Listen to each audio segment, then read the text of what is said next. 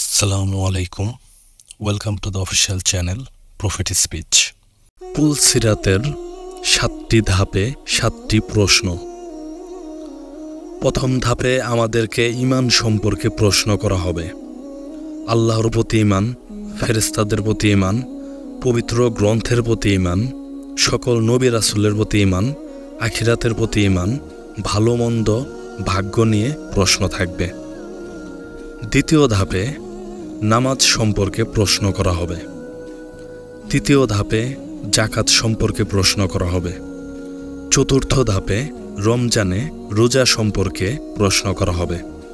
পঞ্চম ধাপে হজ সম্পর্কে প্রশ্ন করা হবে। ষষ্ঠ ধাপে উজু ও গুসল সম্পর্কে প্রশ্ন করা হবে।